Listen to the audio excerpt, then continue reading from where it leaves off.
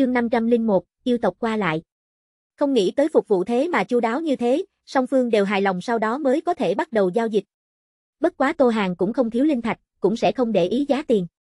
Đạo hữu, nếu như không có vấn đề, như vậy mời nói ra nghi vấn của ngươi. Tô Hàng gật gật đầu, nói ta muốn biết hiện trạng Thanh Lam Tông. Thanh Lam Tông. Đối phương còn cố ý xác nhận một lần. Tô Hàng cũng là sững sờ, hắn xác nhận cũng không phải bảo đảm chính mình không có nghe lầm, mà là mang theo lấy chút kinh ngạc kêu ra tiếng, bất quá rất nhanh vẫn là điều chỉnh xong. Đạo hữu muốn biết tới trình độ nào? Trung niên tu sĩ hỏi lần nữa. Tô Hàng đương nhiên là càng kỹ càng càng tốt, bất quá vẫn là hỏi. Trình độ là có thể lựa chọn sao? Có cái gì trình độ lựa chọn?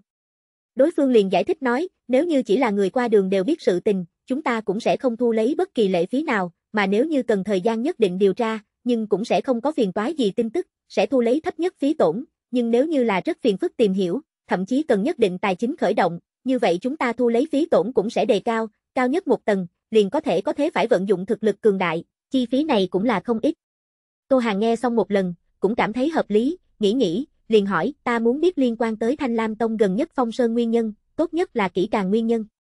Cái giá tiền này có thể sẽ rất cao, nhưng Tô Hàng cảm thấy là có cần thiết tiêu phí.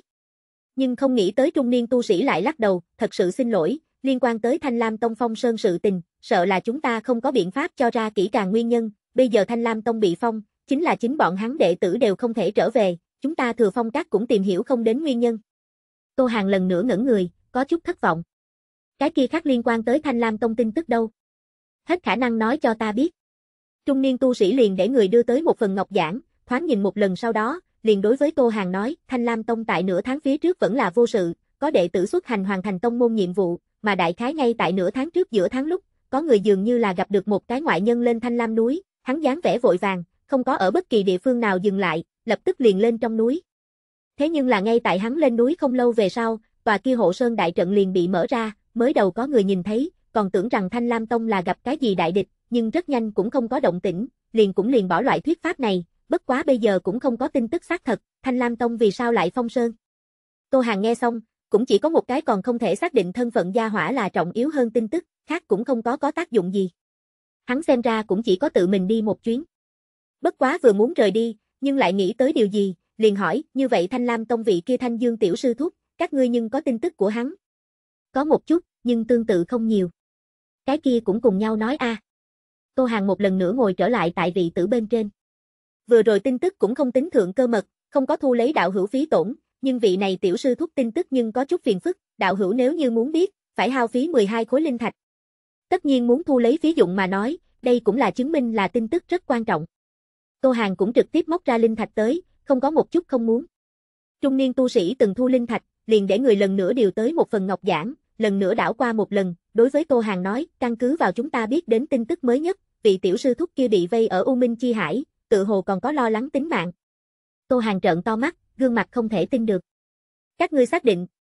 Cũng không dám hoàn toàn xác định, U Minh Chi Hải nếu như không phải siêu phàm thực lực, chính là cửu phẩm tiến vào bên trong, cũng là cửu tử nhất sinh, nhưng tin tức này là vị tiểu sư thúc kia chính mình thông qua linh khế truyền ra ngoài, cho nên có độ tin cậy ít nhất cũng tại tám thành trở lên.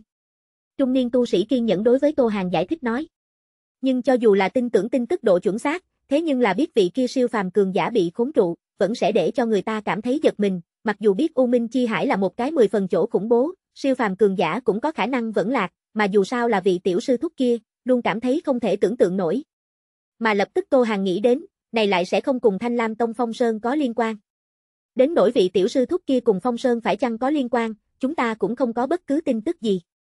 Dường như là nhìn ra Tô Hàng ý nghĩ, vị kia trung niên tu sĩ chủ động nói. Tô Hàng đối với hắn cảm kích gật đầu một cái, cũng không có càng nhiều cần hỏi thăm, liền đứng dậy rời đi. Ra thừa phong cát, Tô Hàng thậm chí ngay cả một phút cũng không nguyện ý đợi ở chỗ này, hắn muốn đi suốt đêm hướng về Thanh Lam Tông xem, cũng muốn biết Thanh Phong mấy người như thế nào. Thế nhưng là đi bất quá nửa đường, còn không có ra ngoài cửa thành, Tô Hàng liền phát giác được chính mình dường như là bị người nào theo dõi. Đinh, có yêu tộc tồn tại, thỉnh túc chủ tiêu diệt những thứ này yêu tộc, điểm khen thưởng 5 ngàn. Lại có yêu tộc dám gan lớn đi tới nơi này phong ngâm thành, nơi này chính là phương Bắc tu sĩ hội tụ chi địa, chẳng lẽ bọn hắn liền không lo lắng an toàn của mình sao? Bất quá lập tức Tô Hàng liền nghĩ đến vì sao lại có yêu tộc dám đến nơi này. Luyện yêu kiếm ra mắt, yêu tộc đương nhiên sẽ không bỏ rơi cơ hội này, vậy đối với bọn hắn tới nói, thế nhưng là ý vị lạ thường, cũng không phải giống người tộc chỉ là vì nhận được lực lượng của hắn. Nếu như yêu tộc lấy được luyện yêu kiếm, tất nhiên có thể chỉnh hợp bây giờ yêu tộc phân ly tình huống, luyện yêu kiếm cơ hồ đều trở thành một loại tín ngưỡng chỗ. Bất quá mặc dù tình có thể hiểu, nhưng nơi này còn là không thể cho phép yêu tộc dương oai. Tô Hàng nghĩ nghĩ, coi như bây giờ đi đến Thanh Lam Tông, có thể cũng giúp không được cấp cái gì, dù sao Phong Sơn sau đó, liền Thanh Lam Tông đệ tử còn không thể nào vào được, hắn cũng không thể tự tin chính mình có năng lực đi ngăn cản được Thanh Lam Tông thủ Sơn đại trận. Nếu đã như thế, hắn hay là trước cầm trong tay điểm số kiếm được lại đi cũng không muộn. Quyết định chủ ý, Tô Hàng liền không còn gấp gáp, nhưng mặc dù hệ thống nhắc nhở có yêu tộc tồn tại, nhưng mà Tô Hàng thả ra thần thức, tại bốn phía tra xét một phen, lại không có phát hiện bất cứ dị thường nào. Hệ thống đến nay mặc dù làm qua rất nhiều thái quá nhắc nhở, nhưng cho đến trước mắt cũng không có đi ra vấn đề, Tô Hàng cảm thấy cũng chỉ có thể là chính mình còn chưa phát hiện mà thôi, hắn lần nữa nhô ra thần thức bắt đầu tìm kiếm, nhưng vẫn là không thu hoạch được gì. Chẳng lẽ bọn hắn đã trốn? Tô Hàng phỏng đoán lấy. Đinh, kiểm trắc đến yêu tộc siêu phàm thực lực tồn tại, túc chủ thực lực yếu hơn đối phương, độ khó đề thăng đến thiên cấp, điểm khen thưởng 500 vạn. Tô Hàng nghe nói như thế, cũng là hít sâu một hơi, thậm chí ngay cả dò xét cũng không dám lại tiếp tục. Mặc dù cảm thấy vị kia siêu phàm không dám nhân loại thành thị hiện thân, thế nhưng là muốn len lén giết hắn như thế một cái cửu phẩm hơn nữa làm đến thần không biết quỷ không hay, cũng không phải việc khó gì, liền xem như một ức điểm số, hắn cũng không khả năng không muốn sống đi mặt đối với đối phương. Vẫn là đi đi, đây là không tiếp tục chờ được nữa. Tô Hàng cười khổ một tiếng. Chương 502, lưới dày đặc. Một đường phi nhanh, rất nhanh liền đã đến bên ngoài thành, vừa rồi cái kia cổ bị tập trung khí tức cảm giác cũng tại trong lúc nhất thời không thấy. Tô Hàng một khỏa nỗi lòng lo lắng mới thoáng thả xuống. Chỉ là chờ thông thả thần tới, mới có hơi hiếu kỳ, vì cái gì yêu tộc người chọn chú ý tới mình, chẳng lẽ chính mình phía trước treo chọc qua bọn hắn. Nhưng nghiêm túc hồi tưởng một chút, cũng không có phương diện này ân oán rối rắm, liền quyết định để trước ở một bên, nghĩ đến chính mình sau khi rời đi, những người kia cũng rất không có khả năng đuổi theo. Kỳ thực nơi này cách luyện yêu xuất thế chỗ đã rất xa, mặc dù không biết đám người này làm sao lại xâm nhập phương Bắc xa như vậy chỗ, nhưng bọn hắn mục đích tất nhiên vẫn là chui này luyện yêu không tệ, bọn hắn cũng tất nhiên vẫn sẽ đi đến nơi đó. Tô Hàng đột nhiên nghĩ đến, mà nếu quả như thật truyền ra luyện yêu tin tức, đoán chừng tràn tranh chấp này tất nhiên sẽ không qua loa kết thúc, có lẽ lại lại là một lần núi thay biển máu tàn khốc tràn cảnh. Nhưng người vì tiền mà chết chim vì ăn mà vong, loại chuyện này tại tàn khốc tu chân giới liền càng thêm nhô ra. Nhẹ nhàng vì có thể chết đi tu sĩ thở dài một tiếng, Tô Hàng liền muốn ngự kiếm rời đi. Đạo hữu, chờ ta. Thanh âm quen thuộc cũng làm cho Tô Hàng dừng một chút. Hắn quay đầu nhìn lại, quả thật là Dương Viễn Nghiệp. Gia hỏa này chẳng lẽ không phải nhìn tam phẩm thực lực, kỳ thực hắn là một vị ẩn tàng siêu phàm cao thủ, bằng không thì hắn tại sao có thể mỗi lần đều có thể biết Tô Hàng ở nơi nào. Đang cân nhắc, Dương Viễn Nghiệp đã trải qua đi tới Tô Hàng bên cạnh. Đạo hữu, muốn đi Thanh Lam Sơn sao? Mang ta đi chung A. Tô Hàng nghi hoặc đảo qua hắn một mắt, cùng tách ra lúc, giống như cũng không có gì khác biệt, chẳng lẽ là ở trong thành cũng gặp phải yêu tộc, bị hù hắn muốn trong đêm đào tẩu. Đương nhiên, đây bất quá là Tô Hàng phán đoán, hắn vẫn hỏi nói, ngươi muốn đi Thanh Lam Sơn. Đây là vì cái gì? Dương Viễn Nghiệp hơi có chút khổ tâm gượng cười hai tiếng, nói ta cũng không nghĩ đến a, những người kia thế mà lại đi theo ta tới đây, ta nếu là lại không đi, có thể ngay cả tính mạng còn không giữ nổi. Những người kia, một đám cường đạo, thổ phỉ, vô lại, lưu manh mà thôi, chỉ cần cách bọn họ xa xa liền tốt. Gặp Dương Viễn Nghiệp không muốn nói tiếp ý tứ, Tô Hàng cũng đương nhiên không tiện hỏi nhiều. Ngược lại là Dương Viễn Nghiệp tò mò nhìn Tô Hàng nói, đạo hữu như thế nào gấp gáp như vậy liền muốn rời khỏi. Cũng là gặp chút phiền phức. Cuối cùng không đến mức đạo hữu là tao ngộ cừu gia truy sát, cho nên chuẩn bị đi Thanh Lam Tông tìm kiếm che chở A. Dương Viễn Nghiệp thế mà một điểm không viễn chuyển nói. Tô Hàng miễn cười một tiếng, lại không có làm bất kỳ giải thích nào. Ngươi tất nhiên muốn đi theo cùng đi Thanh Lam Sơn mà nói, vậy liền đi theo tốt, bất quá gần nhất Thanh Lam Tông phát sinh đại sự, ngươi cũng là biết đến, ta chạng vạn tối đi hỏi thăm một chút, sự tình cũng không đơn giản, có lẽ còn sẽ có nguy hiểm tính mạng, nếu như ngươi không lo lắng, cái kia liền cùng ta đi. Nghe được nguy hiểm, quả nhiên Dương Viễn Nghiệp kinh ngạc suy tư một chút. Đạo hữu, ngươi là nghe được cái gì không? Chỉ là một chút tin tức, không biết thật giả, nhưng nguy hiểm chắc chắn là có, liền Thanh Lam Tông đều cần làm đến tình cảnh phong sơn, không cần ta nói, ngươi cũng cần phải minh bạch, vậy thì như thế nào? Dương Viễn Nghiệp mặc dù biết, còn thật sự không có nghĩ qua, Thanh Lam Tông vốn là cùng Thiên Hạ Tông môn đi không gần, tin tức liên quan tới bọn họ cơ hồ rất ít bị người thảo luận, lại càng không cần phải nói bây giờ cũng chỉ là phong sơn, lại không có bộc phát cái gì tính thực chất vấn đề, Dương Viễn Nghiệp còn thật sự không có nghĩ qua ở trong đó nguy hiểm. Đạo hữu nói có lý, cái này Thanh Lam Sơn có thể thật sự không thích hợp ta đi, đã như vậy, cái kia đạo hữu có thể hay không mang dùng ta một đoạn đường, đến nửa đường ta xuống liền có thể. Tô Hàng bị chọc cười, gia hỏa này còn thật sự biết thấy kẻ hở cắm châm. Ngươi thật sự chính là không có chút nào khách khí. Dương Viễn Nghiệp cũng cười theo nói, cùng là đạo môn, cùng nhau trông coi, đạo hữu hôm nay chi ân, tại hạ tất nhiên sớm đêm tự xét lại, ghi khắc ngũ tạng, tuyệt không dám quên đi. Biết Dương Viễn Nghiệp cái miệng đó ra công phu, để cho hắn nói tiếp, cũng không biết còn có thể nói ra như thế nào thiên hoa loạn trụy, Tô Hàng vội vàng cắt đứt hắn. Tốt, ta mang ngươi đoạn đường chính là. Vậy thì cảm ơn đạo hữu. Hắn còn vẽ mặt thành thật bái tạ đạo. Phong ngâm thành, thừa phong cát. Một vị lục gia cung phụng chậm rãi đi lên tầng lầu, tại lầu các phía trên, có hai người đang tại đánh cờ, mà cái kia cung phụng tiến vào sau, lại không có gây nên một điểm đánh cờ người chú ý. Cung phụng tự hồ cũng không nóng nảy, đi đến một bên, liền ngưng thần tĩnh mong, tay phải chấp trắng, lúc này lại có chút rơi vào hạ phong, đại long bị nhốt, giống như rơi vào chỗ nước cạn, lắc lư không thể. Mà hắc tử sát phạt quả đoán, có nhất cử đồ long chi ý.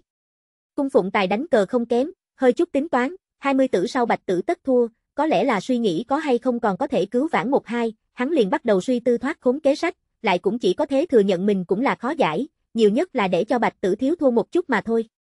Nhưng xuống đến để bắt tay lúc, nhầm lẫn rơi vào hiểm cảnh, dường như là hoa mắt ù tai chi chiêu, chỉ có thể không công mở rộng hắc tử thắng thế, cung phụng đều nghĩ lên tiếng ngăn cản, nhưng lập tức lại chợt tỉnh ngộ. Cầm hắc lão giả mỉm cười, cũng sẽ không tiếp tục lạc tử, chỉ là vê râu than nhẹ, nói, lục gia kỳ lân tử, đều khiến lão phu có ngoài ý muốn niềm vui a. Cái kia chấp bạch thiếu năm, nhưng cũng cung kính nói, si sư phó quá khen, chỉ là thiên bẩm một chiêu, đánh bậy đánh bạ mới miễn cưỡng phá si sư phó cờ, nếu là ta chi thực lực, cũng không phải si sư phó đối thủ. Si sư phó lão giả cười càng vui vẻ hơn chút. Cung kính hữu lễ, không kêu không gấp, trẻ nhỏ dễ dạy a. Ánh mắt kia nhìn xem thiếu niên cũng là mười phần mừng rỡ cùng hài lòng. Lục cơ thiếu gia trên trời rơi xuống chi tài, nhân trung long phượng a. Cái kia cung phụng cũng hợp thời phụng hít một tiếng, mà lúc này hai người mới cốt giống phát hiện nguyên lai nơi này còn có người bên ngoài. Si sư phó cũng không quá nhiều kinh ngạc, chỉ là khôi phục dung nhan, nhẹ giọng hỏi cung phụng, có phải là hay không có cái gì tin tức mới? Cung phụng gật đầu, đồng thời lấy ra một con ngọc giảng tới. U Minh Chi Hải tin tức đã chiếm được chứng thực, Thanh Lam Tông tiểu sư thúc có lẽ đã vẫn lạc, nhưng cũng có thế cũng không phải thiên tai, mà là nhân họa. Si sư phó tiếp nhận ngọc giảng, vị kia lục gia ấu tử lục cơ liền đứng ở một bên chỉ lặng lặng nghe, tự hồ hai người thương nghị cũng không tị húy với hắn. Nhân họa. Vậy chính là có người làm ra. Nhưng biết là ai? Còn không thể xác định, nhưng mà vết tích để chúng ta tìm được yêu tộc, cho nên rất có thể là bọn hắn. Nghe được yêu tộc, si sư phó giữa lông mày hơi hơi căng thẳng, tự hồ đối với cái này rất là không vui. Bọn này thằng hề, làm sao có thể đối phó siêu phàm tu sĩ? Là, chúng ta cũng đang tìm kiếm càng nhiều manh mối. Nhưng, hắn muốn nói lại thôi liếc qua si sư phó. Có cái gì nói chính là, cái kia cung phụng không thể làm gì khác hơn là không có cố kỵ nói, chúng ta tại Trích Tinh Thành tin tức nói, vị kia đã rời đi Trích Tinh Thành, tạm thời còn không biết phương hướng, chỉ là không biết có thể hay không cùng chuyện này có liên quan. Vị kia, là chỉ yêu tộc siêu phàm tu sĩ, ngàn nguyên. Chương 503, yêu tộc cường giả. Thiên Nguyên, yêu tộc bên trong duy nhất siêu phàm cường giả, cũng là từ nhậm chức yêu hoàng sau đó, yêu tộc bên trong đệ nhất nhân. Trước kia nếu như không phải hắn đối với yêu hoàng chi vị cũng không bất kỳ ý tưởng gì, như vậy hiện tại yêu hoàng vị trí nhưng là không tới phiên bây giờ vị này, nhưng làm người ta bất ngờ nhất chính là, Thiên Nguyên là yêu tộc chủ chiến phái một thành viên, hắn tận sức tại yêu tộc có thể phản công Trung Nguyên, thu hồi bọn hắn khi xưa hết thảy. Bất quá, Thiên Nguyên cũng không có ý vào thực lực của mình đi ép buộc người khác, chỉ là vì hết thảy làm cố gắng của mình mà thôi. Luyện yêu kiếm tin tức bị sau khi truyền ra, hắn liền hạ quyết tâm, nhất định muốn nhận được chui này yêu tộc thánh kiếm, cho dù là phải thâm nhập đến nhân tộc nội địa, muốn đối mặt vô số nhân tộc tu sĩ, hắn cũng không có vẻ sợ hãi. Bởi vì hắn biết chui này thánh kiếm đối với yêu tộc ý vị như thế nào, mà chỉ cần hắn thu hồi kiếm này, yêu tộc đám người tất nhiên cũng sẽ trọng chỉnh lòng tin, lần nữa nhớ lại mấy trăm năm trước hào quang cùng vinh quang. Đối với vị này, si sư phó mặc dù không có cùng hắn đã từng quen biết, thế nhưng là tin tức trải rộng thiên hạ thừa phong các không phải không biết, mà bởi vì lý niệm, thừa phong các từ trước đến nay là đem hắn làm trọng điểm quan sát đối tượng, thậm chí không tiếc vốn gốc ở tòa này yêu tộc thánh địa trích trong tinh thành đều bố trí nhãn tuyến. Ngươi cảm thấy vị này yêu tộc siêu phàm muốn đi địa phương nào? Si sư phó quay người đối với lục cơ thiếu gia hỏi. Lục cơ hôm nay bất quá mới 12 tuổi, nhưng từ nhỏ thiên tư thông minh, 3 tuổi cũng đã bắt đầu tu luyện, hiện nay đã có ngũ phẩm tu vi, không chỉ có thiên phú kinh người, cũng 10 phần thông minh, đọc hiểu bách gia điển tịch, biết được thế đạo luân thường. Si sư phó cũng có ý bồi dưỡng, thường xuyên mang theo bên cạnh tra hỏi, đã vì để cho hắn mở mang tầm mắt, cũng là vì dạy bảo. Đã sớm quen thuộc loại này vấn đáp lục cơ cũng chỉ là thoáng trầm tư một chút, liền hồi đáp, nếu như là ta mà nói, hẳn là đang tìm kiếm luyện yêu kiếm, bởi vì đó đối với yêu tộc tới nói quá trọng yếu, thiên nguyên không phải không biết. Si sư phó không có phản ứng gì, cũng không nhìn ra là đồng ý hay là phản đối, chỉ là tiếp tục hỏi, nhưng nếu như thiên nguyên không có đi tìm kiếm luyện yêu kiếm, như vậy hắn bây giờ lại sẽ ở địa phương nào? Lời này liền một bên cung phụng đều có chút không hiểu, hắn không cảm thấy cái kia yêu tộc còn sẽ có lựa chọn khác. Lục cơ mặc dù cảm thấy kỳ quái, nhưng lão sư, hắn không có phản bác, mà là nghiêm túc tự hỏi. Ước chừng trầm mặt phút chốc, hắn mới thử đem ý nghĩ của mình nói ra. Có lẽ liền tại đây phong ngâm thành trung. Một bên cung phụng ngạc nhiên nhìn về phía lục cơ, mặt mũi tràn đầy nghi hoặc, nhưng hắn lại nhìn bên cạnh si sư phó, đã thấy hắn mặt lộ vẻ vui mừng, thật chẳng lẽ là như thế, hắn không dám đặt câu hỏi, chỉ còn chờ lục cơ giảng giải. Ngươi là như thế nào đến ra ý nghĩ này? Si sư phó hỏi. Lục cơ cung kính nói, tiểu tử vốn cũng không dám vững tin, nhưng tất nhiên si sư phó muốn ta suy tư, ta liền một lần nữa đẩy ngã ý nghĩ. Nghe lục cơ mạch suy nghĩ, si sư phó khẽ gật đầu.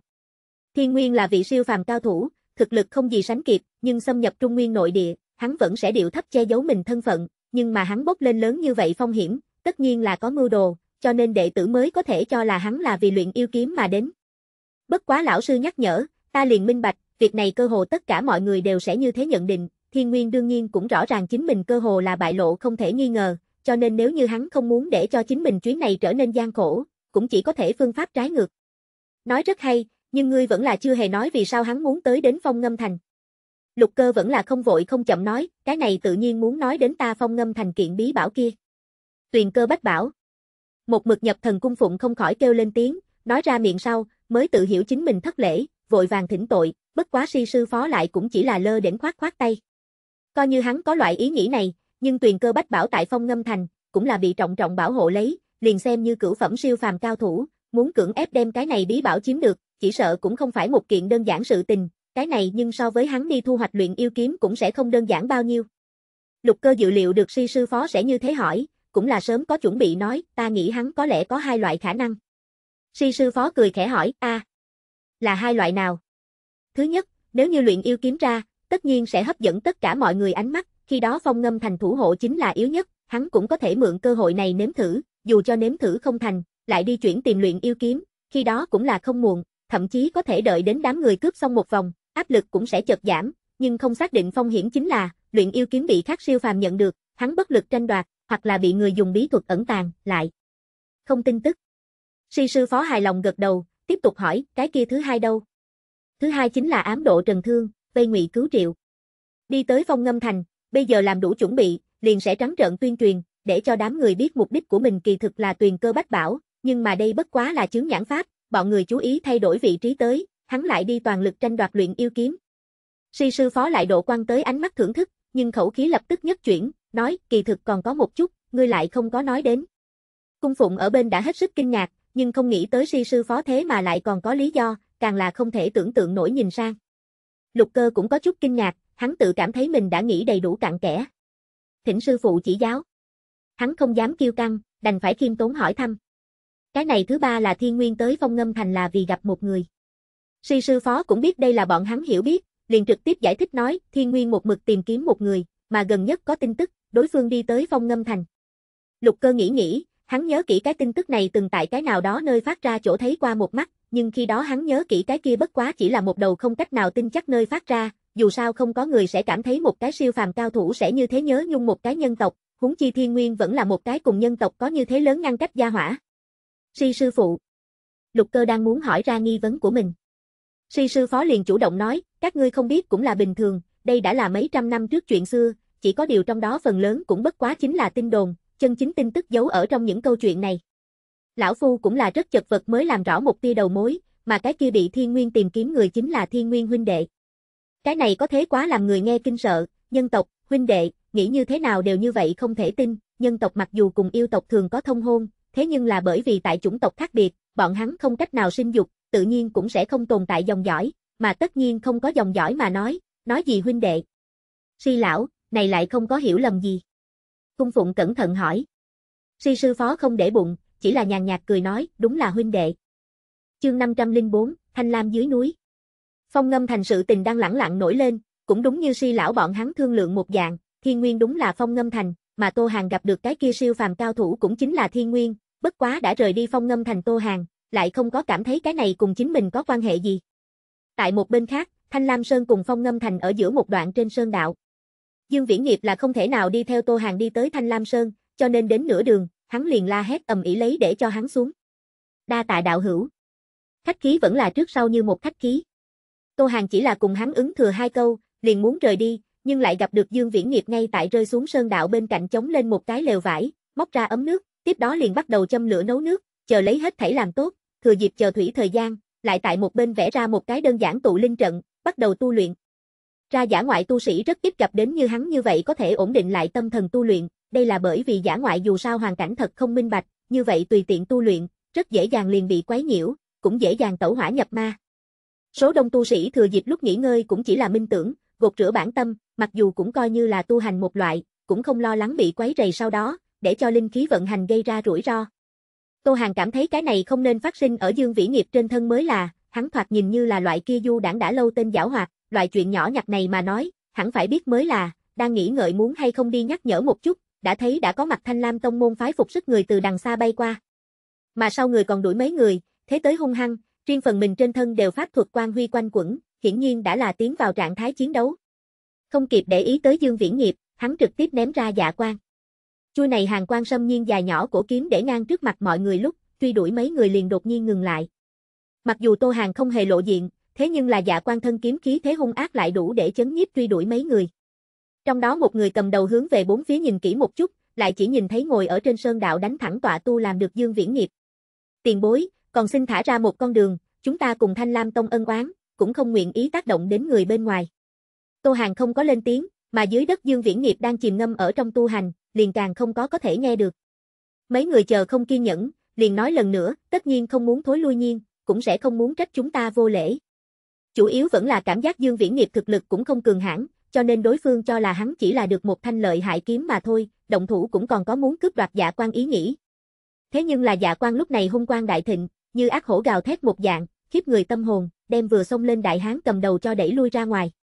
Lui ra phía sau mấy mét, kém chút rớt xuống phi kiếm, chờ ổn định thân thể, lại nhìn về phía dạ quan, cũng đã không có vừa rồi cổ huyết khí kia, thậm chí sắc mặt trắng bệch. Chúng ta đi. Thậm chí ngay cả một câu ngoan thoại cũng không dám bỏ lại, liền vội vã đào tẩu. Tô Hàng cũng không có đuổi theo ý tứ, mà khác một bên, vị kia Thanh Lam Tông đệ tử cũng sớm không thấy bóng dáng, có lẽ hắn cũng nhìn được có người thay hắn cản lại truy đuổi người, nhưng vẫn là không dám lưu thêm, vốn là bên trong Thanh Lam Tông không xa, tự nhiên vẫn là đi về trước mới là chính xác. Thu hồi dạ quan, Tô Hàng cũng liền truy hướng Thanh Lam Tông phương hướng, chỉ có điều nửa ngày thời gian, liền trông thấy cái kia lưu chuyển nhàn nhạt hào quang Thanh Lam Sơn. Sơn phong cao ngất, thẳng vào vân tiêu, nhiều đóa mây trắng, phiêu chuyển tại kỳ sơn trong quái thạch, trong núi thảm thực vật trùng điệp, xanh um tùm, sâu cạn sương mù tô điểm, hơi có chút tiên gia ý cảnh. Nhưng một tầng màn mỏng lại lộ ra một cổ người lạ chớ tới gần túc sát, đó chính là Thanh Lam Tông thủ sơn đại trận. Tô Hàng cũng vô dụng quá phiền phức liền tìm được tụ tập tại chân núi cách đó không xa một đám người, xây dựng doanh địa tạm thời mặc dù đơn sơ, nhưng chim sẻ tuy nhỏ ngũ tạng đều đủ, nên thứ cần thiết cũng sẽ không thiếu khuyết. Một đám người sinh hoạt ở nơi này, trừ bỏ tu hành hoàn cảnh không tốt, cũng không quá nhiều vấn đề khác. Tô Hàng vừa đi đi qua, liền bị canh giữ ở phía ngoài cùng đệ tử phát hiện, tự nhiên không thiếu được cảnh cáo, nhưng hắn vừa muốn giảng giải, lại bị trong đó một cái đệ tử nhận ra. Phía trước thế nhưng là Tô Hàng tiên sinh. Thanh âm kia cũng làm cho Tô Hàng quen thuộc, hẳn là cùng hắn cùng nhau tại quân Nam thành người đã trải qua. Là ta. Tô Hàng đối với bọn hắn hô. Nhận được sau khi xác nhận, tên đệ tử kia cũng là vui mừng, vội vàng mang theo bên cạnh đồng môn nhích lại gần. Tô Hàng tiên sinh, ngươi là đến tìm rõ ràng phong sư thúc A. Cùng gió mát ước định hôm đó Thanh Lam Tông đệ tử cũng đều biết, Tô Hàng cũng không phủ nhận, nhưng cũng không chỉ là như thế. Ta mang ngài đi qua, sư thúc bây giờ hẳn là vừa mới trở về. Tô Hàng gật đầu, vốn còn cho là những đệ tử này tại biết tông môn tao ngộ loại này đại biến, có lẽ cũng muốn uể oải thất lạc, nhưng là bây giờ nhìn, nhưng thật giống như cũng không có loại tâm tình này. Tô Hàng nhất thời cũng không tốt hỏi, bất quá chờ phía dưới nhìn thấy rõ ràng gió, tự nhiên có thể biết xảy ra chuyện gì. Một đường đi vào, trong doanh địa lúc này cũng không có quá nhiều đệ tử tại, nghe cái kia dẫn đường đệ tử nói, tất cả mọi người là đi bên ngoài tuần tra đi, mà rõ ràng gió cũng là mới vừa tuần tra trở về. Tại sao muốn đi tuần tra? Tô Hàng vẫn là không nhịn được tò mò hỏi câu. Tiên sinh hẳn là cũng biết, ta Thanh Lam Tông gặp bất trắc, rõ ràng phong sư thúc để chúng ta chia mấy đội, dưới chân núi tuần tra, vì tìm kiếm phong sơn nguyên nhân. Thì ra là thế. Đang khi nói chuyện, đã tới một tòa trước nhà gỗ. Nơi này phòng ốc cũng là từ bốn phía chặt cây cây rừng kiến tạo, tu sĩ có thuật pháp tồn tại, những kiến trúc này cũng không có tiêu phí quá nhiều thời gian, mà những thứ này nhà gỗ kiểu dáng giống nhau, trước mặt tòa này chỉ là đến gần chân núi phương hướng một chút. Gõ cửa một cái, liền nghe được bên trong truyền đến âm thanh. Đi vào. Là rõ ràng gió cái kia hơi có chút thanh âm hùng hậu. Bất quá khi Tô Hàng bọn hắn đi vào, rõ ràng gió chính đối trên bàn bản vẽ nghiên cứu cái gì, cũng không có ngẩng đầu nhìn tới. Sư thúc, Tô Hàng tiên sinh tới. Ân. Rõ ràng gió lên tiếng, qua mấy giây mới phản ứng được, bỗng nhiên ngẩng đầu, tiếp đó nhìn thấy Tô Hàng, lập tức có chút kinh ngạc đứng dậy đi tới. Đạo hữu, sao ngươi lại tới đây? Ngạc nhiên đi lên liền muốn lôi kéo Tô Hàng đi ngồi. Tô Hàng cũng theo hắn đi đến căn này cũng không phải quá lớn trong nhà gỗ một cái bàn phía trước ngồi xuống. Vừa vặn trong khoảng thời gian này cũng không có sự tình gì, liền tới. Rõ ràng gió tựa như là đột nhiên nghĩ đến vốn là chính mình mời Tô Hàng tới, hắn vỗ óc một cái, hổ thẹn nói, ngươi nhìn ta cái não này, vốn là ta mời hữu tới ta Thanh Lam Tông, thật là thất lễ, bất quá. Hắn thở dài một tiếng, bây giờ ta Thanh Lam Tông đang gặp gỡ dị sự, có thể là không cách nào chu đáo chiêu đãi đạo hữu. Không dối gạt đạo hữu, ta lần này trước khi đến cũng đã biết Thanh Lam Tông đang gặp gỡ đại sự, nếu là vì để cho đạo hữu chiêu đãi, vậy ta cũng sẽ không tới, đạo hữu xin đừng nói những lời này. Chương 505, lấy gì dạy ta? Nghe được Tô Hàng lời nói, Thanh Phong cũng có chút ngoài ý muốn. Đã như vậy, vì cái gì đạo hữu còn muốn tới Thanh Lam Tông, trước mắt tông môn ta tình huống cũng không cho lạc quan, phải chăng còn gặp nguy hiểm cũng cũng còn chưa biết. Đạo hữu này tới, chỉ sợ cũng không phải một cái rất tốt thời cơ. Đối với gió mát quan tâm, Tô Hàng đồng thời không để bụng. Ta nếu đã tới, tự nhiên cũng không phải lo lắng những thứ này, người ta có liều mình chi giao, tới Thanh Lam Tông cũng là biết ngươi bây giờ đang đứng ở khốn cảnh, mà ta như biết còn chưa tới giúp ngươi, chẳng phải là có chút lan tâm cẩu phế. Hắn cười hai tiếng, vốn định hóa giải lần này ngưng trọng, nhưng Thanh Phong lại trịnh trọng đứng dậy bái tạ. Đạo hữu cao như thế tiết, thực sự là làm cho người khâm phục, thỉnh đạo hữu chịu Thanh Phong cúi đầu. Hắn đang muốn không lưng đi xuống, lại bị Tô Hàng một cái kéo lại cánh tay. Đạo hữu không cần thiết khách khí như thế, ta còn cái gì đều không làm, ngươi một bái này ta là chịu không nổi. Nếu đã tới, chúng ta cũng sẽ không muốn khách khí như thế, ngươi cứ cùng ta nói muốn ta làm những gì, nếu là có thể giúp ngươi, ta nhất định sẽ không cự tuyệt. Gặp Tô Hàng cũng là như thế nghiêm túc, Thanh Phong do dự một chút, liền không thể làm gì khác hơn là thu hồi lại, bất quá đứng dậy vẫn là nói, đạo hữu đại nghĩa như vậy, tại hạ tất nhiên nhớ cho kỹ, ai cũng dám quên. Hàng huyên đi qua, hai người liền bắt đầu thảo luận tới trước mặt khốn cảnh. Nhưng mà hai người một phen thảo luận sau đó, lại phát hiện riêng phần mình cũng không có quá nhiều tin tức, Thanh Phong mặc dù nói ở đây chờ đợi thời gian nửa tháng, cũng biết còn không có ở bên ngoài Tô Hàng nhiều, hắn ở đây chỉ là kiên trì tìm kiếm giải khai trước mắt khốn cảnh manh mối, đáng tiếc, ngoại trừ trở về đồng môn đệ tử, cũng không có bất luận cái gì tiến triển. Mà Tô Hàng lại mang đến một cái càng để cho người kinh ngạc tin tức. Đạo hữu thật sự tin chắc tiểu sư thúc tin tức. Khi Tô Hàng đem chính mình từ Thừa Phong Các nghe được tin tức nói cho Thanh Phong sau đó, hắn so với Tô Hàng nghe được tin tức này còn muốn ăn kinh, ngay cả ngữ khí đều có chút run rẩy. Tin tức này là từ Phong Ngâm thành Thừa Phong Các nghe được tin tức. Tô Hàng không có trực tiếp nói cho Phương Thanh Phong, chỉ là đem chính mình nhận được tin chỗ nói ra. Kỳ thực cầm sạch gió nghe được cái tin tức này thời điểm cũng đã bắt đầu tin tưởng, chỉ là loại này tin tưởng là tới bắt nguồn từ đối với Tô Hàng tín nhiệm, bây giờ nghe Thừa Phong Các, hắn tự hồ đã không có lựa chọn không đi tin tưởng. Mặc dù cũng không có thể nói Thừa Phong Các cũng sẽ không phạm sai lầm, thế nhưng là từ trước đến nay, Thừa Phong Các đều sẽ bảo đảm tin tức của mình gắn đạt tới chính xác mới có thể công bố ra. Đó cũng không phải một tin tức tốt, ta cũng do dự phải chăng hẳn là nói cho ngươi, thế nhưng là nghĩ nghĩ, ta vẫn quyết định nói ra, cái này không chỉ có là bởi vì ngươi cần biết coi đây là sau đó lựa chọn làm ra phán đoán, cũng là bởi vì tin tức này có thể rất nhanh liền lan truyền ra, ngươi cần cân nhắc thế nào đối mặt biết tin tức này đồng môn. Thanh Phong sắc mặt vẫn ngưng trọng như cũ vô cùng, hắn vẫn là đối với Tô Hàng nói tiếng cảm ơn. Cảm ơn đạo hữu đem tiểu sư thúc sự tình nói cho ta biết, chỉ là bây giờ ta còn có chút hoảng hốt, nhất thời không thể nào tiếp thu được. Đạo hữu vừa tới nơi đây, một đường cũng là khổ cực, ta để cho người ta an bài trước đạo hữu đi nghỉ ngơi, chờ ta nghĩ kỹ, lại đi tìm đạo hữu thương nghị. Tô Hàng nhìn qua hắn biểu tình ngưng trọng, cũng thông cảm gật đầu. Đạo hữu xin đừng vì vậy mà không còn lòng tin, sự tình luôn có chuyển cơ. Tô Hàng cũng biết an ủi của mình lời nói cùng nổi lên không được quá nhiều tác dụng, chỉ có thể tại gió mát an bài xuống đi theo Thanh Lam Tông đệ tử rời đi. Nơi này phòng trống còn rất nhiều, ngoại trừ bắt đầu bọn hắn cho mình làm, còn lại chính là vì có thể sẽ trở về đồng môn các sư huynh đệ. Tô Hàng bị phân một gian, bất quá trong phòng ngoại trừ một tấm đơn giản giường, liền cũng không còn khác. Đệ tử kia đem Tô Hàng đưa đến sau đó, cũng đã nói thời gian ăn cơm. Tô Hàng nhìn xem thời gian còn sớm, cũng không nóng nảy đi ăn cơm, liền rời đi gian phòng, đi bên ngoài đi lòng vòng.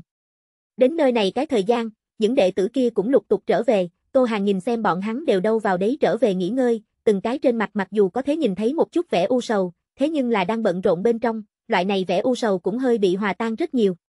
Cùng một ít đệ tử hỏi tình huống, tất cả mọi người vẫn sẽ tin tưởng tiểu sư thúc sẽ trở về mang theo bọn hắn quay về tông môn. Càng là như thế, Tô Hàng liền càng thêm lo lắng làm tin tức lan truyền mở, sẽ tạo thành như thế nào hỗn loạn. Tiên sinh, sao ngươi lại tới đây?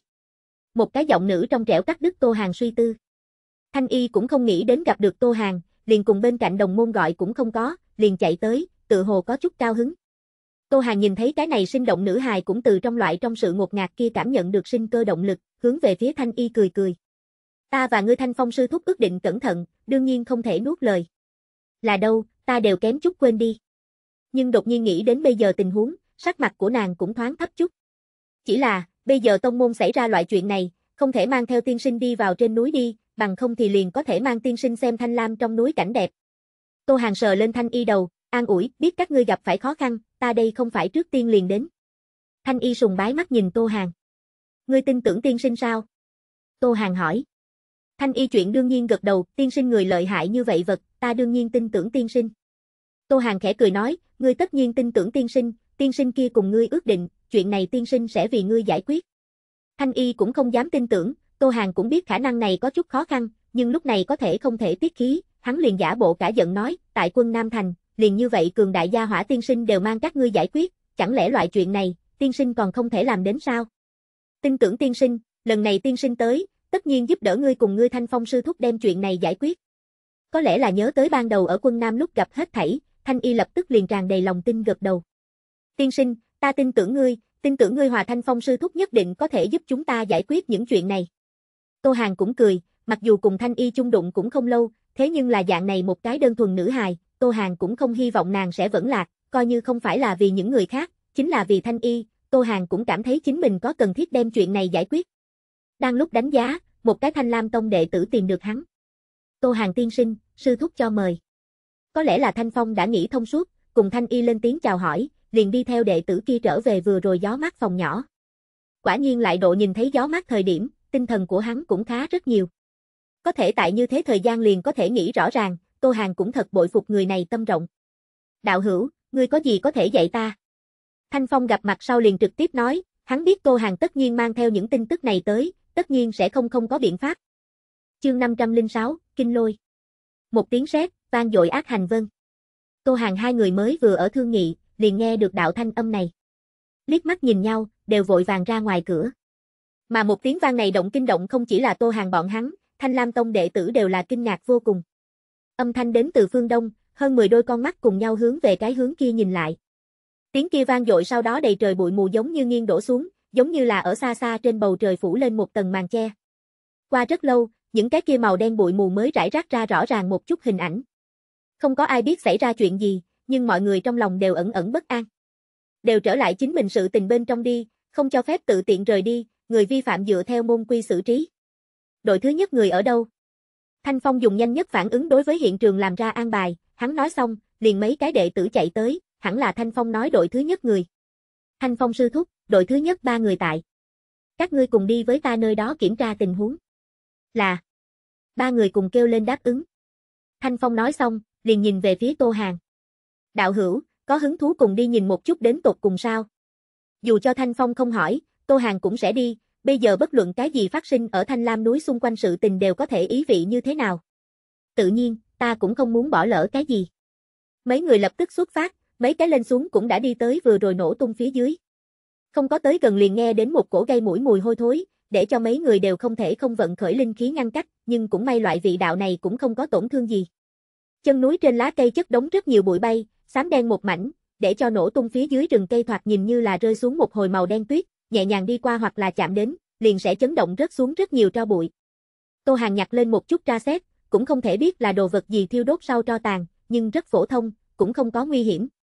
Hướng về phía Thanh Phong gật gật đầu, Thanh Phong liền để dừng bước lại đệ tử tiếp tục đi tới, mặc dù ở đây tự hồ không có gì cả, thế nhưng là từng cái cũng chưa từng buông lỏng qua cảnh giác. Hướng phía trước lục soát mấy chục mét, cuối cùng gặp được một cái kỳ quái vật, một khối đứt gãy kim loại vật thể, bất quá mới một chưởng lớn nhỏ, toàn thân đen như mực, giống như than cốc một dạng. Thanh Phong từ đệ tử trong tay tiếp nhận, lau đi mặt ngoài than đen, bên trong lại là tử kim tầm thường lóe kim quang màu sắc. Đây là tử kim. Thanh Phong khẳng định nói. Cái này hẳn không phải. Tô Hàng lập tức phủ nhận, nếu như là tiếng bầm mà nói, dựa vào vừa rồi của lực lượng kia không cách nào để nó đứt gãy thành cái dạng này. Thanh Phong cũng biết Tô Hàng nói tới có lý, lại lần nữa mắt nhìn, vẫn như trước vẫn là phân biệt không ra, liền đem đồ vật đưa cho Tô Hàng. Đạo hữu, ngươi xem một chút đây rốt cuộc là cái gì tính chất. Tô Hàng đã sớm có ngờ tới, nhưng không có nói thẳng ra, tiếp nhận đồ vật, đánh vào một đạo linh khí, nhìn xem cái kia kỳ lạ đồng hồ kim loại mặt hào quang, liền càng thêm tin chắc đồ vật chất liệu. Đây là lưu sa kim, một loại cùng tử kim cực kỳ một thứ giống như nhau, nhưng không có tử kim mạnh như vậy độ, tại cũng không lực lượng cường đại trùng kích vào, là một loại rất tốt thay thế tử kim xem như pháp trận tài liệu đồ vật, nhưng loại này đồ vật so với tử kim còn ít ỏi hơn, theo ta được biết, cũng bất quá tại Tây mà trong sa mạc có chỗ lưu truyền. Chẳng lẽ là đám kia Tây mà ngoài vòng giáo hóa người? Nghe được Tô Hàng giảng giải, Thanh Phong không khỏi suy đoán đạo. Có lẽ có khả năng này, nhưng Trung Bộ cũng khẳng định có biết loại vật này gia tộc. Thanh Phong gật đầu một cái, tiếp tục tìm tiếp, hẳn còn có những đầu mối khác.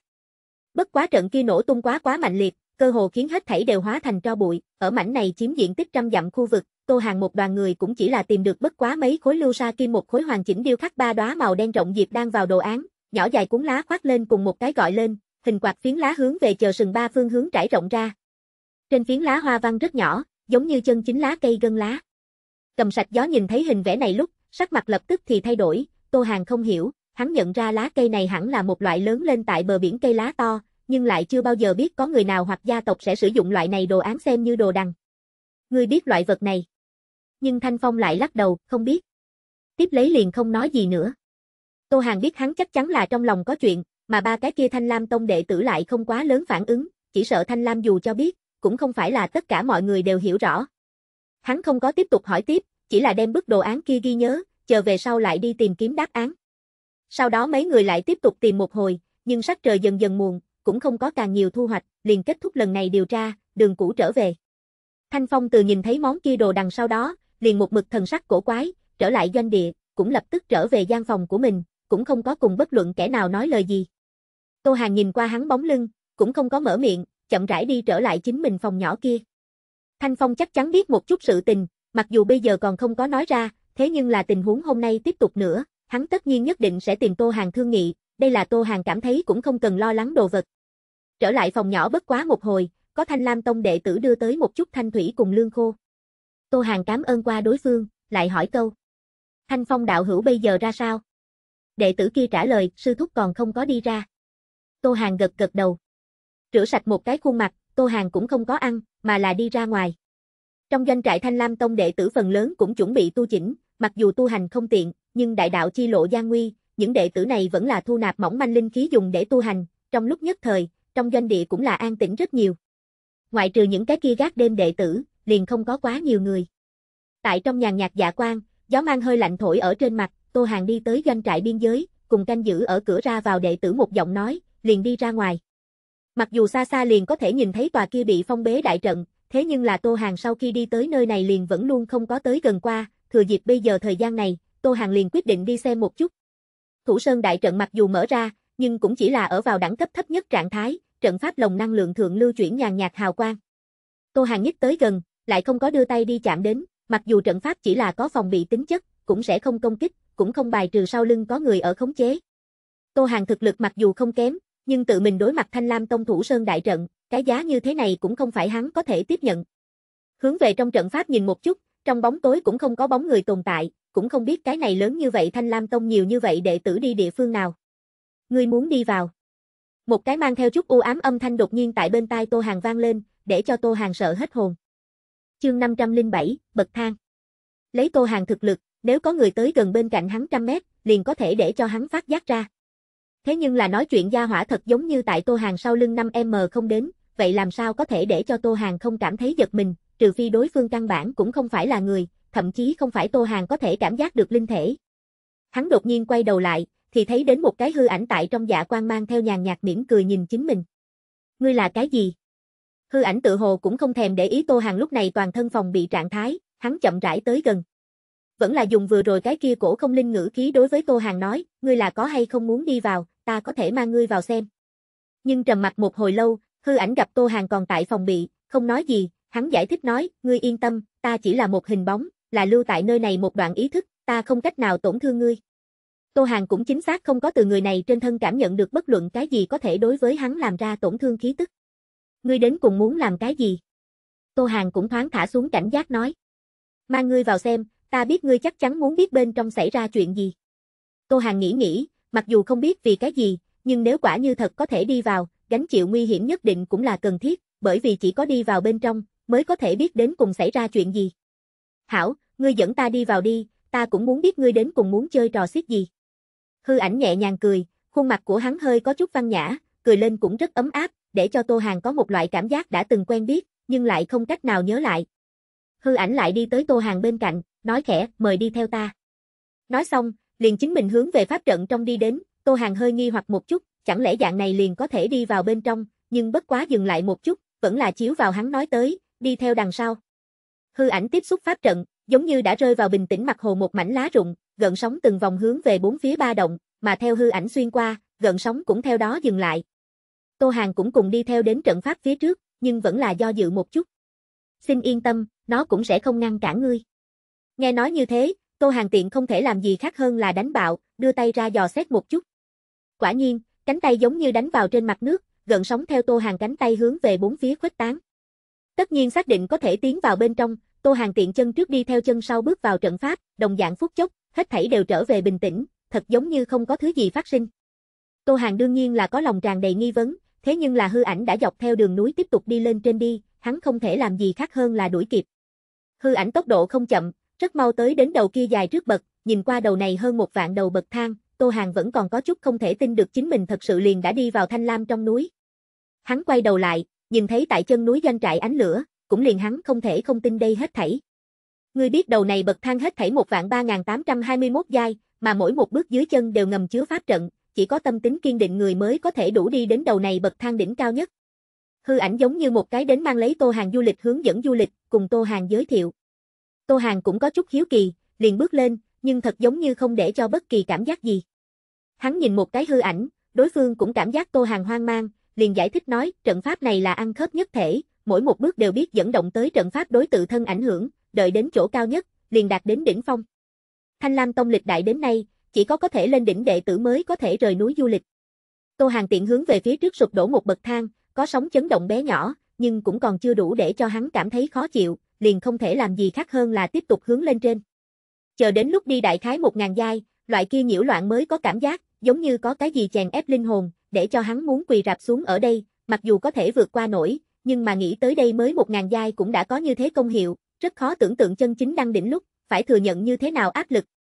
Mà đây là mỗi cái thanh lam tông rời núi đệ tử nhất thiết phải kinh nghiệm, cùng tu vi không quan hệ chỉ có tâm tính có liên quan. Cũng khó trách thanh lam tông đệ tử luôn luôn không sợ nguy hiểm, vĩnh viễn dùng khó khăn ma luyện tự thân tu vi, trải qua loại này đáng sợ dài dai người, chỉ sợ cũng không có cái gì là đáng giá bọn hắn sợ. Có lẽ ngươi có thể từ bỏ, tại một bên khác còn có một cái lối nhỏ có thể lên đi. Hư ảnh tự hồ đối với ở đây rất quen thuộc, lần nữa cùng Tô Hàng giới thiệu nói. Tô Hàng lắc đầu, hắn biết tất nhiên hư ảnh mang mình tới đây bên trong, mà còn chờ lên một ngàn giai mới nói, tất nhiên vẫn là hy vọng mình có thể leo đi lên, hắn cũng nghĩ để cho đối phương biết mình cũng không phải dễ dàng khuất phục người. Cái này một vạn giai nếu như từng bước một đi lên, sợ rằng phải hao phí không thiếu thời gian, Tô Hàng cũng không muốn một đêm này liền cứ như vậy hao phí ở đây, hắn hỏi, nếu như chạy lên có phải là giống nhau hay không? Đại trận là căn cứ vào ngươi mặc qua bậc thang mà tính, cho nên chạy lên cũng giống như vậy, nhưng ta cũng không ngại ngươi làm như vậy, một chút góp nhặt quá nhiều áp lực, sẽ để cho ngươi không thể chịu đựng, từng bước một thích ứng mới là con đường chính xác. Thế nhưng là Tô Hàng lại không nghĩ dạng này từng bước một leo đi lên. Không quan hệ, ta nghĩ thử một lần. Nói xong, liền từng bước đi ra, cả người cũng lên ba bốn bậc thang, lần nữa bước ra một bước, lại là ba bốn, liên tiếp như thế, tốc độ cũng là nhanh chóng, bất quá một hồi liền lên trên trăm gần ngàn. Thế nhưng là cũng đúng như hư ảnh nói tới, cái kia đến từ linh hồn áp bách cũng là càng thêm trầm trọng. Sau khi chạy nhanh đại khái 3.000, Tô Hàng tốc độ cũng không thể không thả chậm xuống, lại nhìn một bên, cái kia hư ảnh thế mà cũng là đi theo một bên. Ngươi thật giống như không có ảnh hưởng. Tô Hàng hỏi. Ta nói qua, ta bất quá là một đoạn ý niệm, những thứ này đương nhiên sẽ không đối với ta đưa đến tác dụng. Tô Hàng liền cũng không suy nghĩ nhiều, tiếp tục leo lên trên đi. Lần này là đến 8.000, hắn đã không cách nào duy trì chạy trốn tốc độ, chỉ có thể là từng bước một đi lên trên đi. Nếu như đến 8.000 ngươi đã phí sức như thế, như vậy còn dư lại hơn 3.000, ngươi không cách nào leo đi lên. Hư ảnh rơi xuống kết luận một dạng nói. Tô Hàng chân mày hơi nhíu lại, hắn chính xác cũng cảm thấy mình một hồi chạy tới, để cho chính mình góp nhặt áp lực gấp bội tăng lên rất nhiều, bây giờ linh hồn thật giống như đang chịu đựng đá lớn vạn cân áp bách, muốn đem hắn hung hăng nện ở trên mặt đất. Có lẽ ngươi có thể từ bỏ, từ nơi này trở về, áp lực cũng đã biến mất. Hư ảnh âm thanh lần nữa khuyên giải. Tô Hàng lại tại loại này chèn ép có chút chật vật cười cười, nếu như ta nếu là đi xuống, chỉ sợ hôm nay ta cũng sẽ trở thành trong tay của các ngươi vật. Tô Hàng mặc dù còn không rõ ràng lắm trước mặt hư ảnh rốt cuộc là ai, thế nhưng là dọc theo đường đi tới, hắn có loại cảm giác, bây giờ Thanh Lam Tông phát sinh hết thảy, tất nhiên là cùng trước mặt hư ảnh có liên quan, có lẽ là đoạn này ý niệm chủ thể có liên quan. Chương 508, không người. Vậy ta không thể làm gì khác hơn là chúc phúc ngươi, nhưng ta chỉ sợ không thể lại cùng ngươi đi tiếp thôi, ta tại đỉnh núi chờ ngươi. Hư ảnh đối với Tô Hàng nói, liền giống như là một trận gió thổi qua, rất nhanh liền bay đi lên. Tô Hàng cũng không cảm thấy có cái gì, cũng không để ý hư ảnh rời đi, chỉ là tiếp tục hướng lên trên phương đi đến, mặc dù đi chậm chạp, thế nhưng là Tô Hàng vẫn là có thể kiên trì. Không có bên cạnh hư ảnh ôm bảo hộ, Tô Hàng cũng không biết tự mình đi bao lâu, đi bao nhiêu bậc thang. Nhưng chỉ cảm thấy mình áp lực càng thêm lớn, ngay cả con mắt đều cảm giác muốn không mở ra được. Nhưng Tô Hàng cũng chỉ là một lòng trèo lên trên, lúc này chân chính làm được tâm vô bàn vụ, phản phất xung quanh ngoại vật đều hắn không có quan hệ. Càng chạy càng mệt mỏi, là một tu chân giả, không có cái gì thân thể mỏi mệt, hắn mệt mỏi là đến từ tâm linh, loại kia phản phất tâm tình tuyệt vọng đem hắn trọng trọng bao quanh, thậm chí tiếp tục đi tới đích, hắn cảm giác chính mình có lẽ sẽ chết ở chỗ này, là cảm giác tuyệt vọng tự sát mà chết. Cái kia hết thảy tâm tình tiêu cực theo nhau mà đến, giống như hồng thủy một dạng mãnh liệt rót vào đến trong óc của mình, tại không biết lúc nào, Tô Hàng đã khóc thầm khóc không thành tiếng.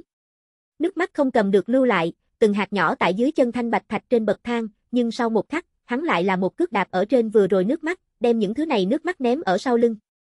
Khi còn lại đại khái 3.000, cũng chính là Tô Hàng bò lên trên 10.000 thời điểm, hắn thấy được cái kia dừng lại ở phía trên nhất hư ảnh, mà nơi đó chính là Tô Hàng muốn đi đến mục tiêu. Tô Hàng không biết vì cái gì, hắn giống như là suy nghĩ minh bạch một ít đạo lý. Người lúc nào cũng chấp nhất tại ngoại vật, lúc nào cũng nhớ nhung tại cảm tình, thế nhưng là tu chân đại đạo, cho tới bây giờ cũng là cô độc, hết thảy tất cả cũng chỉ là ngươi trên đường tu chân tô điểm, bọn hắn có thể có, cũng có thể rất tốt đẹp, thậm chí nhường ngươi cảm thấy hạnh phúc, nhưng lại không cần nhớ nhung, bọn hắn luôn có có thể mất đi, trên con đường này chung quy chỉ có chính mình. Tô Hàng lần nữa đạp vào sau đó, hòn đá kia đã mất đi trọng lượng. Hắn cũng eo tự hồ cũng ưỡn thẳng rất nhiều, nhẹ nhõm sụp đổ đi lên, tiếp đó lần nữa đi lên, mà loại cảm giác này giống như càng ngày càng nhẹ nhàng, loại kia đến từ tinh thần sản khoái tràn ngập thân thể mỗi một cái lỗ chân lông. Mặc dù không biết xảy ra chuyện gì, Tô Hàng lại thích loại cảm giác này, dù cho bây giờ có thể bước nhanh một hơi xông lên, hắn cũng không bỏ từng bước một đi lên trên đi. Cái này liền lại là một ngàn. Lại hướng lên liền muốn kết thúc. Thế nhưng là Tô Hàng nhưng có chút không muốn. Hắn tiếp tục đi lên, đến một vạn hai nghìn. Tại đi lên liền thật muốn kết thúc, Tô Hàng dừng lại, loại này cảm giác sảng khoái để cho người ta xa vào, linh hồn cùng nhục thể giống như là phân ly, hắn nhẹ nhàng thật giống như chính mình chính là cái hư ảnh này, giống như phiêu phù ở đám mây. Nếu như có thể một mực tiếp tục kéo dài, Tô Hàng cảm thấy mình bỏ qua hết thảy. Nhưng lại tại lúc này, Tô Hàng liếc về tại phía trên nhất tên kia nụ cười, tự hồ hắn đã sớm đoán được chính mình sẽ như thế phản ứng. Nụ cười này, để cho Tô Hàng đột nhiên cả kinh, tất cả mọi thứ đều bị rót một chậu nước lạnh. Hắn cần từ nơi này rời đi, tuyệt đối không thể bị cái này hư vọng đồ vật cho mê hoặc nổi, hắn cần trở về, cần giải khai ở đây hết thảy. Tiếng này hò hét dưới đáy lòng để cho hắn tràn đầy sức mạnh, cơ hồ không có bất cứ chút do dự nào cùng đình trệ, hắn lập tức xông tới. Tốc độ cực nhanh, cơ hồ chỉ dùng thời gian mấy hơi thở, hắn cũng đã bay đến đỉnh chóp, mặc cho loại kia mỹ hảo cảm giác như thế nào dẫn dụ chính mình, Tô Hàng đều hoàn toàn không có một chút bị mê hoặc, lục tăng thanh tịnh, vô dục vô cầu. Mà đi tới cái hư ảnh này trước mặt, đối phương cũng mang theo hơi cười, chúc mừng ngươi, hoàn thành một lần tâm linh gột rửa. Tô Hàng cũng bắt đầu cười, đúng là một hồi tâm linh gột rửa, chẳng qua nếu như không có một lần kinh lịch này, chỉ sợ ta cũng không biết coi chừng linh buông lỏng như thế, lại là xinh đẹp như vậy cảm giác. Vậy ngươi bây giờ còn đối với ta cảm thấy tức giận sao? Hư ảnh hỏi. Ngươi vì sao lại cảm thấy ta đối với ngươi cảm thấy tức giận? Chỉ là ta chính mình phán đoán mà thôi, nếu như không có, đó là không còn gì tốt hơn. Nói với hắn xong, quay đầu hướng về đại điện nhìn lại, Tô Hàng không thấy bất luận cái gì mình muốn nhìn thấy đồ vật, nơi đó sạch sẽ, không có bất kỳ cái gì xảy ra chiến đấu tràn cảnh. Thanh Lam Tông phát sinh chuyện lớn như thế, không chỉ có là Tô Hàng, ngay cả Thanh Phong cũng cảm thấy, Thanh Lam Tông phía trên nhất định xảy ra chuyện gì chỉ sợ chiến đấu. Nhưng là bây giờ xem ra, đại điện cẩn thận, nắng nót. Đằng sau ngươi còn muốn tiếp tục đi tới đích sao? Chú ý tới Tô Hàng biểu lộ, hư ảnh thử dò xét hỏi một câu. Ta mục đích tới nơi này chính là vì tìm kiếm nơi này nguyên nhân, đương nhiên muốn tiếp tục tiếp tục đi.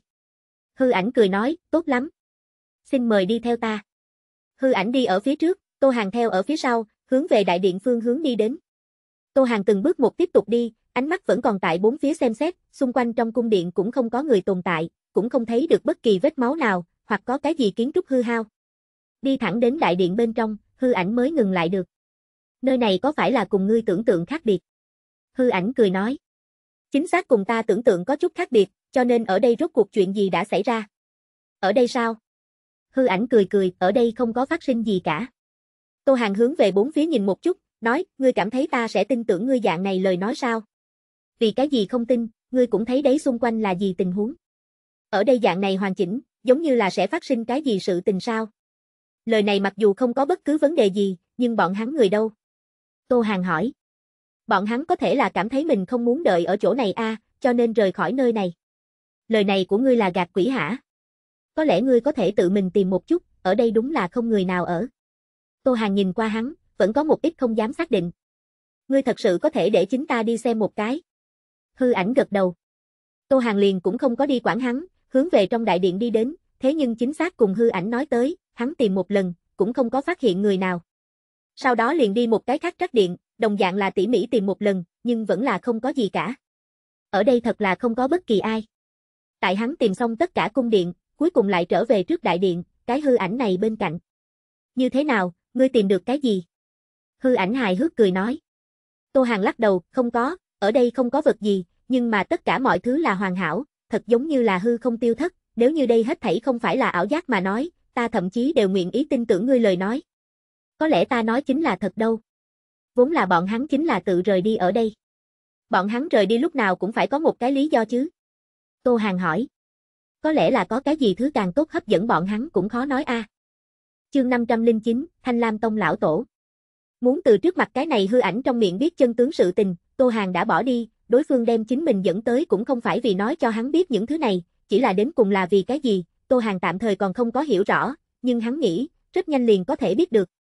Hơn nữa vừa rồi Tô Hàng đã tìm tất cả địa phương, mặc dù không có phát hiện có người tồn tại vết tích, nhưng cũng không phải là không thu hoạch được gì.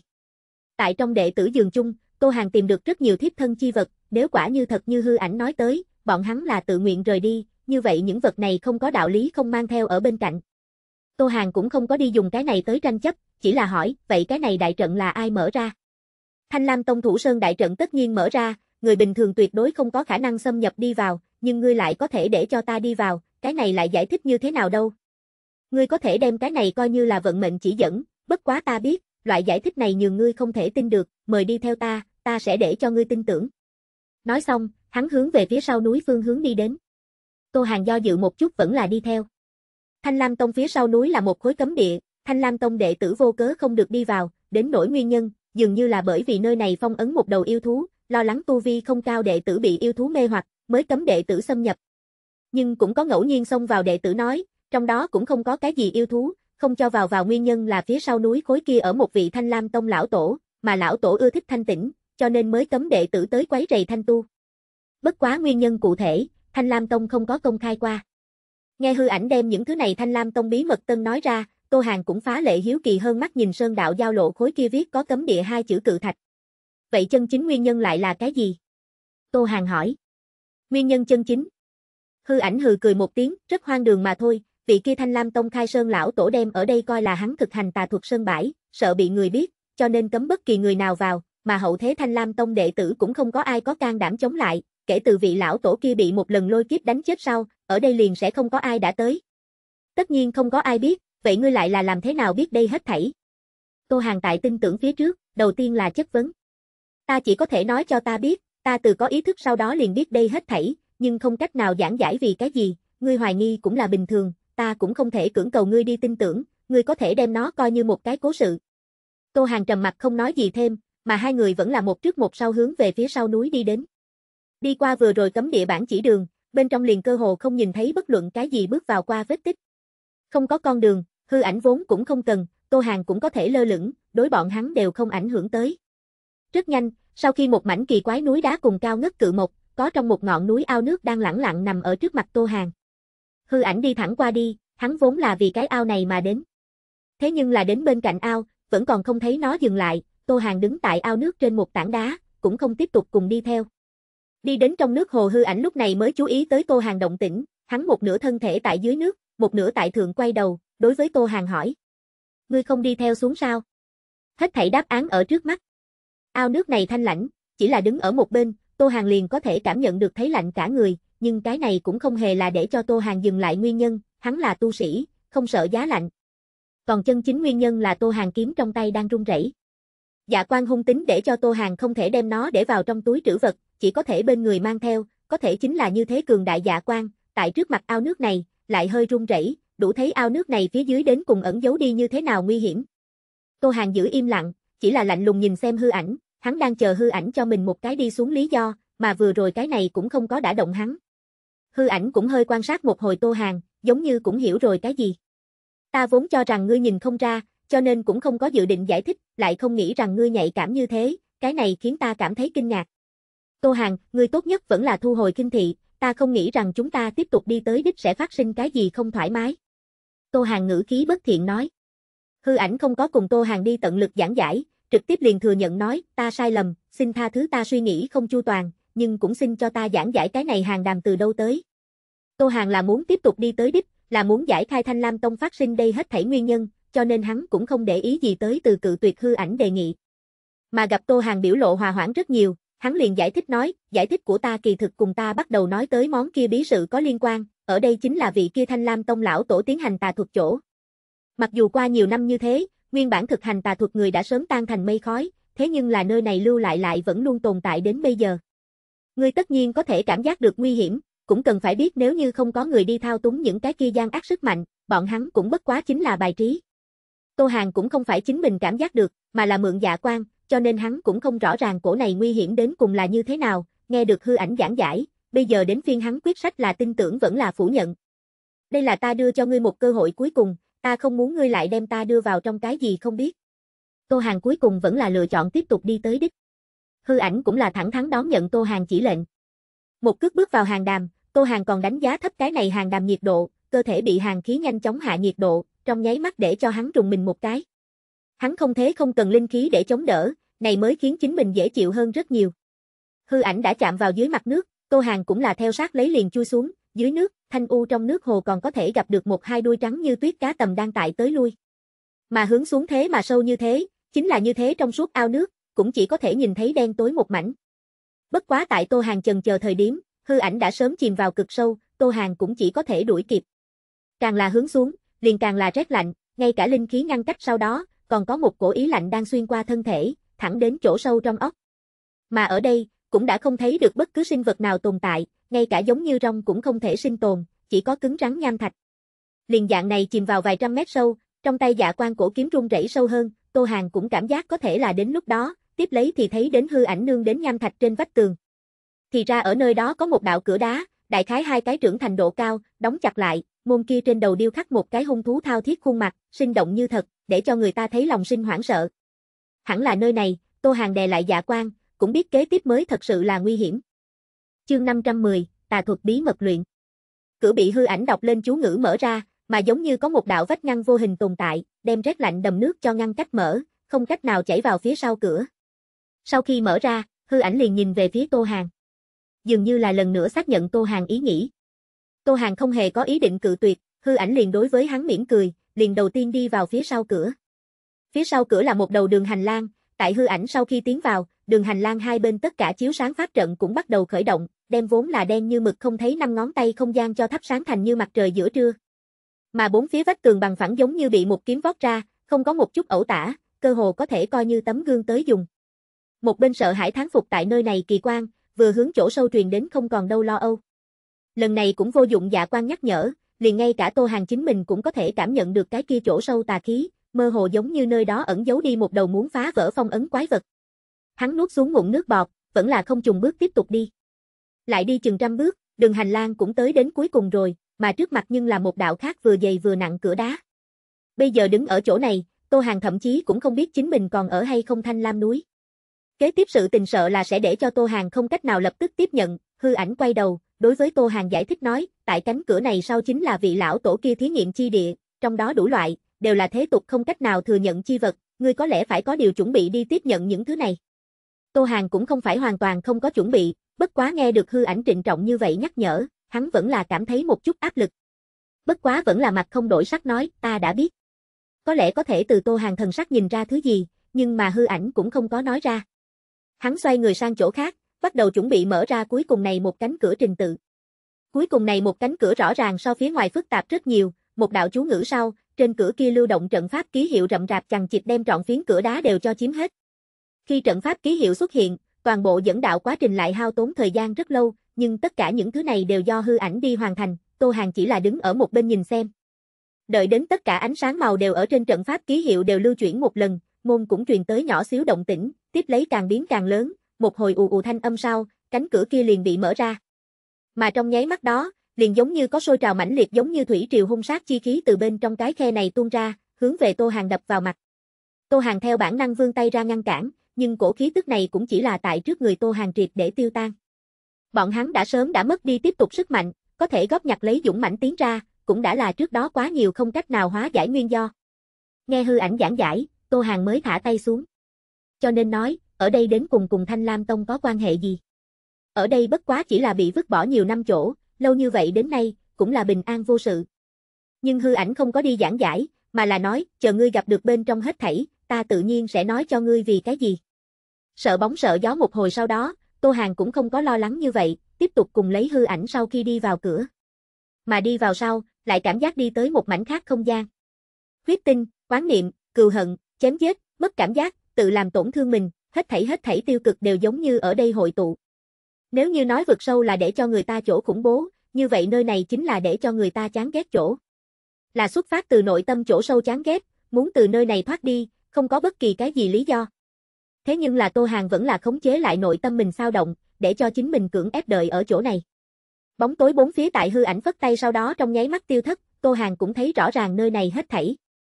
Khắp nơi đều là tan tành huyết nhục, hài tử, lão nhân, nam nhân, nữ nhân, ở đây chiếm diện tích rộng lớn chỗ, trải rộng các ngõ ngách. Mà tại những cái kia phá toái bên trong, Tô Hàng còn phát hiện không chỉ chỉ có nhân tộc thi thể, còn có yêu tộc, hải tộc, tất cả sinh mệnh tự hồ cũng có thể dùng đến bị xem như nơi này nghiên cứu. Chỉ là quan sát sơ lược rồi một lần, ở đây người đã chết liền có hàng trăm hàng ngàn số. Nhưng vừa rồi cảm nhận được cái kia cổ sợ bóng sợ gió một trận sát khí, đi qua lâu như vậy vẫn còn có thế có như thế uy năng, Tô Hàng cảm thấy chết ở chỗ này người phải xa xa vượt qua chính mình suy đoán con số. Trải qua rất nhiều giống như Tô Hàng đều nhất thời không thể nào tiếp thu được nơi này tàn khốc, cũng khó trách tại đi vào phía trước, cái bóng mờ kia phải nhắc nhở Tô Hàng chuẩn bị sẵn sàng. Tô Hàng dọc theo một đầu hiện đầy thi hài con đường hướng về phía khu vực này trung ương đi đến, ở nơi đó có một tòa trống không chỗ, bất quá không phải không có gì cả, mà là một tòa hình tròn pháp trận đem hết thảy thi thể đều cho ngăn cách. Nơi đó là vị lão tổ kia sau cùng thí nghiệm, chỉ là đáng tiếc là, tại hắn vẫn chưa hoàn thành đây hết thảy phía trước, hắn liền chết ở lôi kiếp phía dưới. Tô Hàng rất nhanh liền đứng ở pháp trận bên cạnh, hắn cũng không thể thấy rõ pháp trận này là muốn làm cái gì, nhưng lớn như vậy trận pháp tất nhiên sẽ không đơn giản. Pháp trận này cuối cùng sẽ như thế nào? Tô Hàng tất nhiên xem không hiểu, liền trực tiếp hỏi. Dựa theo vị lão tổ kia kế hoạch, nếu như tòa này pháp trận hoàn thành, hắn liền có thể thông qua hút lấy người khác hồn phách tới cường hóa thực lực của mình, dùng cái này tới vượt qua lôi kiếp. Chỉ tiếc, thua ở một bước cuối cùng. Ngươi biết cái kia thí luyện bậc thang vốn là vì làm cái gì sao? Hư ảnh đột nhiên hỏi. Chẳng lẽ còn có tác dụng khác? Cùng ở đây có liên quan. Tô Hàng rất tự nhiên liền đem cả hai liên hệ với nhau. Hư ảnh cười nói, đương nhiên có quan hệ, ngay từ đầu Thanh Lam Tông lão tổ muốn hút lấy hồn phách cũng chỉ có thông qua được thí luyện nấc thang ma luyện, chỉ có những cái này mới là hắn mong muốn, cũng chỉ có loại này cường đại tâm trí linh hồn mới có thể để cho hắn tăng trưởng thực lực. Sau khi hắn tìm được biện pháp, liền làm ra nếm thử, khi đó hắn tìm được ở bên ngoài lịch luyện đệ tử, đem bọn hắn thôn phệ, tiếp lấy ngụy trang thành ở bên ngoài gặp nạn tình huống, làm cho không người nào có thể phát giác, đoạn thời gian kia, rất nhiều Thanh Lam Tông đệ tử đều tao ngộ bất trắc. Tô Hàng ngạc nhiên nghe những thứ này phản phất chuyện xưa truyền thuyết, nếu như đây hết thảy thật sự, như vậy vị lão tổ kia thế mà lại đối với đệ tử của mình động thủ, đây quả thực là để cho người ta sợ hãi sự tình. Nhưng Tô Hàng cũng đã không cách nào lại phủ nhận sự thật này, khi hắn gặp được hết thảy trước mắt, cái này tại Thanh Lam Tông phía sau núi hết thảy, cái này tất nhiên cùng Thanh Lam Tông có liên quan. Nhưng tại đem hết thảy để ở một bên, đi suy xét nơi này và trước mắt Thanh Lam Tông khốn cảnh quan hệ lúc, Tô Hàng liền nghĩ đến một loại khả năng. Đây là một hồi báo thù sao? Mặc dù không biết hư ảnh thân phận chân thật là ai, nhưng là bây giờ Thanh Lam Tông đang tại gặp hết thảy đều giống như là bởi vì cái này trước mặt hết thảy hoàn lại. Báo thù. Hư ảnh lại nở nụ cười lạnh. Không có ai biết, nếu như không phải ta mang theo ngươi đi tới nơi này, sẽ không bao giờ lại có người biết cái này ngàn vạn năm trước phát sinh sự tình.